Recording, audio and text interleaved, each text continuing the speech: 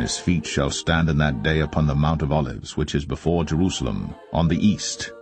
And the Mount of Olives shall cleave in the midst thereof toward the east and toward the west. And there shall be a very great valley, and half of the mountain shall remove toward the north, and half of it toward the south, and the Lord shall be king over all the earth. The crack in Kenya sits along the 3,700-mile-long East African rift. Geologists say that rift is growing larger as two tectonic plates move away from each other. And the Mount of Olives shall cleave in the midst thereof toward the east and toward the west. And there shall be a very great valley, and half of the mountain shall remove toward the north, and half of it toward the south, and the Lord shall be king over all the earth.